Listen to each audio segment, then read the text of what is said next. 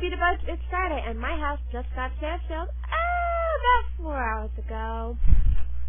So, um, my mom is currently at, um, arbitrary court, going after the one bond that we have.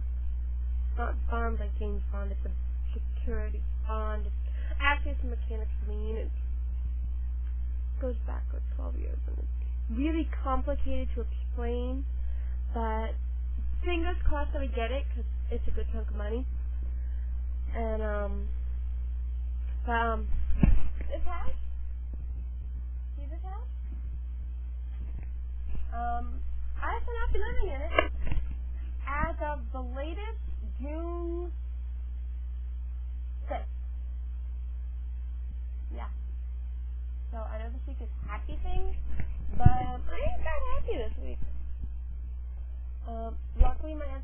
final was also on two different dates. I missed the first one. The second one, which I can hopefully take next week, is in the morning, and I'm like getting up and getting out of the house in the morning. And um, I missed my dance recital yesterday. There are three dates for it, so I can go tonight and tomorrow, hopefully and I missed my final English class, which is really bad because I had like a 30 page paper due then. Actually, probably more than 30 pages. It was really, really long. And I emailed, it's, we had to make a Google account and put it on there.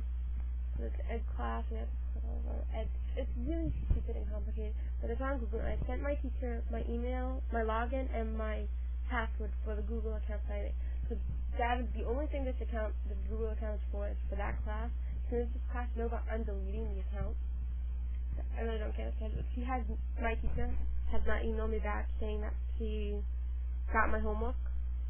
So I'm freaking out, and my mom keeps screaming at me for freaking out over this. And it's been a really shitty couple of days, Beda Buds. And I have to move my entire life. I've lived in this house my entire life to my mom's friend's house. He doesn't want me to live there. Yeah. So, luckily he is down in Tennessee with Leia. Well, he's not with Leia, but he's in the same state as Leia. So, he's not coming back for a few months because he's working on the pipeline. So I'll be able to stay there. Hopefully I'll be able to set it up so I can get a dorm next semester and I can stay at school. Hopefully. Hold on. Um, it's been a shitty couple of days. Really shitty. I know this is supposed to be the theme of happy, but ain't been very happy, Beda Buds. Ain't been happy. I don't got any recommendations this week.